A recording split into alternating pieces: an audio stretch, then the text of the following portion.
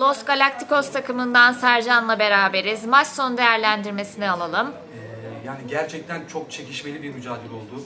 İki takımdaki arkadaşlarımı gerçekten tebrik ediyorum. Ee, dışarıya da iyi bir izlenim vermiş olmalıyız. Ee, rakip takımdaki arkadaşlarıma te- teşekkür ediyorum. Kendi arkadaşlarıma çok teşekkür ediyorum. İyi mücadele çıkardık, iyi bir galibiyet aldık. Artık önümüzdeki maçlara bakmak istiyoruz. Çok teşekkür ediyorum. Tebrikler tekrardan.